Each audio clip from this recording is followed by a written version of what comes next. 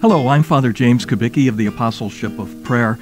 And in the traditional morning offering, we offer our entire day with all its prayers, works, joys, and sufferings for the intentions of the Sacred Heart of Jesus, foremost of which is the salvation of souls, the salvation of all souls, because Jesus came and died to save every single person, even those who did not know him then or do not know him now. Pope Francis talked about this desire for universal salvation and said, On Christmas Eve, we meditated on the hastening of several shepherds of the people of Israel to the grotto of Bethlehem. Today, the solemnity of the Epiphany, we remember the arrival of the Magi, who came from the Orient to adore the newborn King of the Jews and universal Savior, and to offer him symbolic gifts. With their act of adoration, the Magi bear witness that Jesus has come to earth to save not one people alone, but all peoples.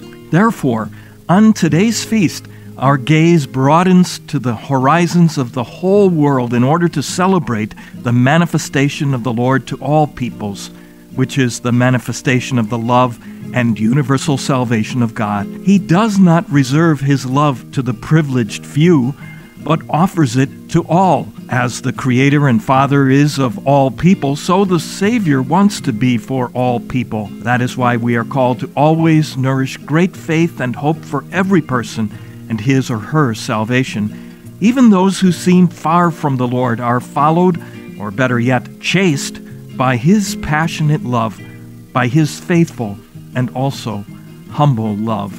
Let's join Pope Francis and our Lord today and offer this day of our lives for the salvation of every person, especially those who are furthest from God.